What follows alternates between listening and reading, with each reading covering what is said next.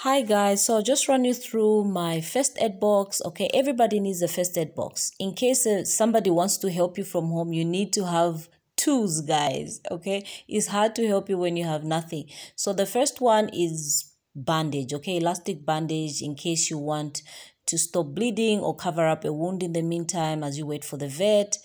The plaster does the same thing in case you want to stop bleeding, blah, blah, blah. You can also use duct tape okay in place of plaster if you want.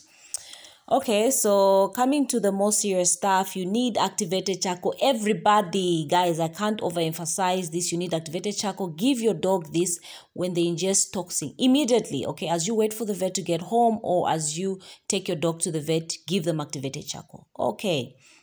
The other thing is potassium permanganate. By the way all this is over the counter stuff okay? Potassium permanganate will stop bleeding anywhere okay? As long as it's not a major vessel it's not major artery you need to give this you need to put this right on the site where there's bleeding whether it's an overclipped nail or a, a bruise or whatever it is. As long as it's bleeding you put potassium permanganate there and the bleeding stops okay? Another thing i think that ran out in here is painkiller but always get that from your vet as well.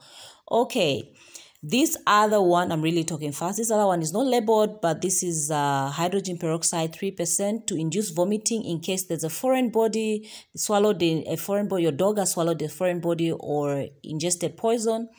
Okay, the other one is uh, a leash. Guys, throughout all these, have a vet, okay? Because it's not every toxin, for example, that you give hydrogen peroxide. So have a vet on call. That's just a scissors in case they hang themselves. Wait, what? I mean, in case there's a string around their leg or whatever, just cut it through.